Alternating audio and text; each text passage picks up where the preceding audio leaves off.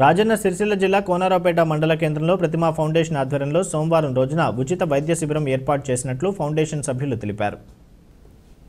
ఈ సందర్భంగా ప్రతిమ వైద్య విజ్ఞాన సంస్థ ఫౌండేషన్ ప్రతినిధి డాక్టర్ వికాస్ చెన్నమనేని మాట్లాడుతూ సోమవారం నిర్వహించే శిబిరానికి అధిక సంఖ్యలో ప్రజలు తరలివచ్చి ఉచిత వైద్య సేవలు సద్వినియోగం చేసుకోవాలని కోరారు. ప్రతిమ ఉచిత వైద్య శిబిరాన్ని నిర్వహించడం జరుగుతుంది. కాబట్టి కోనరాపేట వైద్య సేవలను గ్రామీణ ప్రాంతాల్లో ఉపయోగించుకునేటట్టుగా మనకు అందించడం జరుగుతుంది కాబట్టి ప్రతి ఒక్కరు కూడా ఈ అవకాశాన్ని వినియోగించుకొని అందరూ కూడా వైద్య సేవలను పొందగలరని మా గ్రామ పంచాయతీ తరపున నేను తెలియజేసుకుంటున్నాను. ఇంకా ఏంటంటే రేపు సోమవారం రోజున మహిళా దినోత్సవం కార్యక్రమం ఉన్నది. ఈ కార్యక్రమంలో గ్రామ ప్రజలందరూ పాల్గొని విజయవంతం చేయగలరని తెలియజేసుకుంటున్నాను.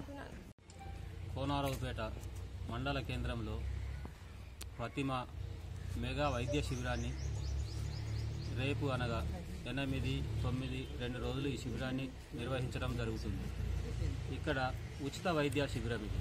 మన కోనరావుపేట మండల ప్రజలు గ్రామ ప్రజలు పేట మండల ప్రజలు అందరూ వీటిలో ఎక్స్రేలు ఈసీజీలు ఒక పదకొండు రకమైన టెస్టులు ఉచితంగా చేస్తున్నారు.